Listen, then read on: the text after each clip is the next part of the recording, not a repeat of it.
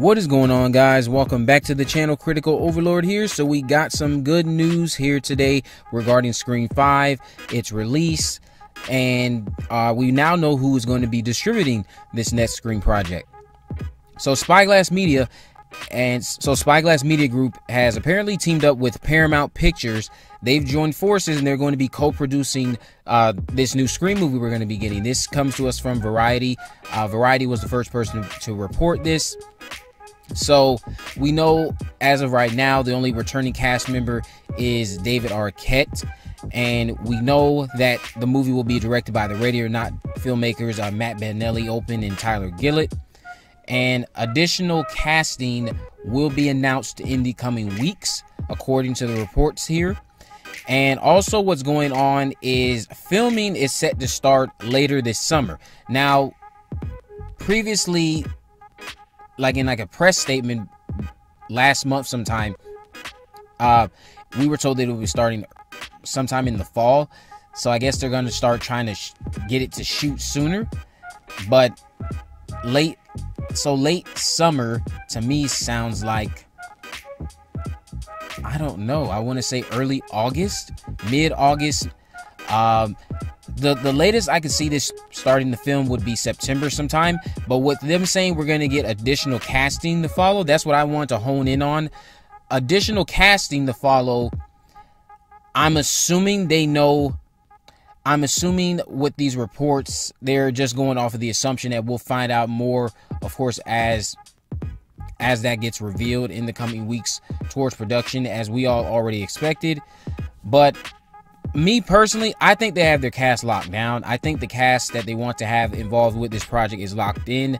The only thing that's really left to announce would be, of course, Neve Campbell returning to reprise her role as Sidney Prescott, Courteney Cox, everybody honestly i feel is more eagerly waiting to hear if hayden panettiere is going to be back as kirby reed when sidney gets announced fine when gale weathers gets announced fine people are still going to be waiting for that missing puzzle piece. The, the missing piece here for a lot of people is not Sidney and gale we feel like a lot of us everyone for the most part is pretty much under the impression those two characters will be back. We want to know 100% certain if we are going to be getting Hayden Panettiere back in this movie with her reprising her role as Kirby because that's something that a lot of fans and a lot of people are constantly focusing on, theorizing, and it would be really interesting and exciting, and it would be like just the biggest dream come true if we find out Hayden Panettiere is coming back to reprise her role as Kirby. But also, I want to talk about the release date that they're looking for. So, no specific date, but I did make a video mentioning what would be the best option for them to do in terms of release. When when could we be expecting this film to come out? And it looks like they are going to be looking to release it sometime next year in 2021. Paramount Pictures will be responsible for the marketing and they will distribute the film worldwide. Uh, in all media with select international territories and domestic pay one television being handled by Spyglass. So what I take what I what I'm looking forward to is seeing what they do there. Because again, I made a video talking about what I feel would be the most effective. The most effective thing that I think you could do marketing wise would be to release this movie around the time of the original Scream's 25th anniversary. Don't release it in April of 2021. If it happens, I will, st- of course, I'm still going to be more excited because we get to see the movie earlier. But I'm thinking about long term. If you're planning to have a return of profit and you want to have the, the biggest, smartest marketing scheme that any Scream movie has had since the third film, um, I feel like going for the 25th anniversary of Scream and honoring that would be the way to go. And let's say we're still hopefully we're not but if we're still in a pandemic and things are easing up where things have become more easier to maintain and let's say cases are down we could have ghostface face mask marketing this film. Uh, that could be something that could get looked at. Maybe a lot of people would actually even show up to the premiere in face mask which could start a trend of people wearing ghostface face mask. But I think that would be a pretty neat thing to see. Also, again, I've made mention of re releasing the old films in a collector's edition box set or independently with another collector's edition series because I believe they did have like a collector's edition or a collector series of DVDs. It'd be nice to see that kind of redone to promote and get people hyped for Scream 5 by re releasing all the other four movies, maybe with some new commentary interviews or new interviews and commentary from the stars of these movies if if that can all be arranged even if they're not returning in Scream 5 you know like just the biggest marketing schemes I'm trying to think of here. Re-releasing the original four movies in a box set collection would obviously be the biggest thing. Ghostface face mask, that would be another one. And then also letting the cast members be present at uh, Comic Con like events, just panels and where they get to answer questions, premiering the premiering the trailer at a big event, hyping up the trailer, being very interactive with your fans on social media. Social media is going to be a big advantage for Scream 5 to do very well at the box office, just like it is with any uh, film.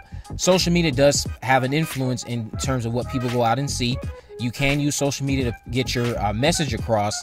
And with the trends that recently happened over the past couple of months when Scream 5 got announced, I'd say using Twitter, Instagram, Facebook, everything social media wise would do nothing but help out the box office performance with Scream 5. So I'd hope they release this movie around the time of Christmas next year to line up with the 25th anniversary of the original movie, make that a part of the marketing scheme. Hope we get Hayden Panettiere back to play Kirby Reed. And going back to them talking about how we're going to be finding out more casting updates as the weeks go on. With them planning to start shooting later this summer, I expect we'll start seeing things come in maybe we don't we don't know we might get something tomorrow we might get something next week telling us that Neve Campbell's back Hayden Panettiere's back courteney Cox is back and then of course we'd be wanting to know who our new supporting cast members are We've already, I've made videos talking about this. A lot of people are under the impression that the people that the filmmakers are following on Twitter is a hint at who will be participating in the movie. A lot of people think we'll have Selena Gomez. A lot of people think we'll have uh, Cole Sprouse and Lili Lili Reinhart. If there, if Lili Reinhart is in it, I'd be more.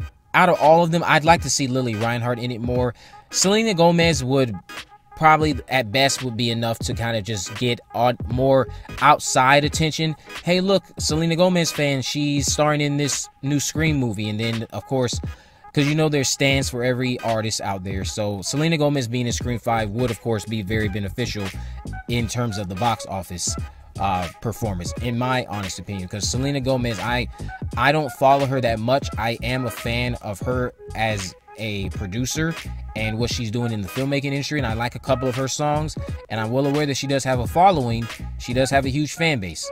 So I'm pretty sure if you put well known stars in this film, that's not going to do anything but just help out with the box office. Well, you would believe that would help out with the box office. And then also, want to just talk one final time about Neve Campbell coming back. Neve Campbell, honestly, she I feel like she's she's at this point just egging us on. I feel like her role has already been cemented, and maybe her and the filmmakers are in on this running gag because she keeps having interviews where she's just saying she's negotiating. We know you're negotiating. We want stop saying that. Just tell us if you're gonna be in it or not. I feel like at this point she's gonna be in it, and she's just running running with this. Oh, we're in negotiations. I think the negotiations are done. I could be mistaken, but I think they're done, and it's just a running gag until they make an official cast announcement with the official plot synopsis and the announced official release date with uh, filming schedules and everything coming later this year. And Paramount Pictures, I know they're mostly known for for distributing a lot of the Friday the 13th movies, so they were the last people I would expect to see involved with a Scream film. This is very shocking to me, but I'm I'm all for it. I'm really excited. I'm glad we're getting more things coming out about this project. I can't wait to see what our new filmmakers bring to the table and how they honor the legacy of Wes Craven and whether or not this movie will be one of the better sequels we've gotten since Scream 2.